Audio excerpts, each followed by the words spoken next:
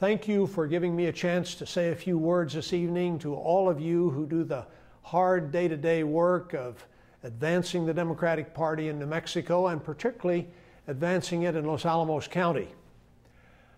Let me first say thank you to all of you for the support you've given me over many years. Uh, we've been working together for decades now to benefit the people of New Mexico, and I think we've, we made some progress in that regard.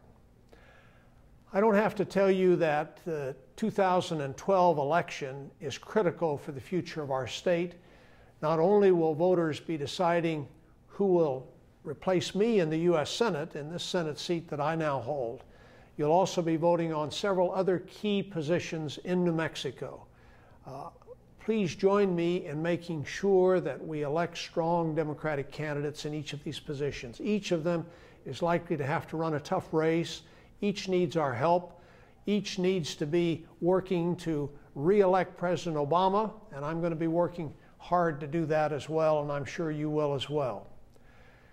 This evening, uh, you're awarding the Los Alamos Democratic Party Achievement Award to Bun Ryan. And I want to congratulate Bun Ryan for his exceptional service to the Democratic Party and to the state of New Mexico. Before I speak about Bun, I want also to recognize Mike Wheeler, the Los Alamos Democratic Party chair, David Izraelevitz, the Los Alamos County Councilor, and Stephanie Garcia Richard, who's running for House District 43. Also, wish Los Alamos County Council candidates, Kristen Henderson and Ken Johnson and Pete Sheehey, the best of luck in their races. Bun Ryan's been a great friend to me uh, during all the time that I've been involved in politics in New Mexico. He's been a stalwart in my efforts to get reelected and the efforts of virtually every Democrat who has succeeded in New Mexico. Uh, he is a stalwart for the Democratic Party. I can't think of how many times I've had the occasion to tell Democratic candidates for office that if they want to win Los Alamos County, they need to get Bun Ryan's support. Uh, Bun is legendary for his uh, accomplishments, particularly in softball but uh, he's also legendary for his uh, great service to this community and, uh, and his great service to the Democratic Party. In my view, you could not have chosen a better person to honor with this achievement award.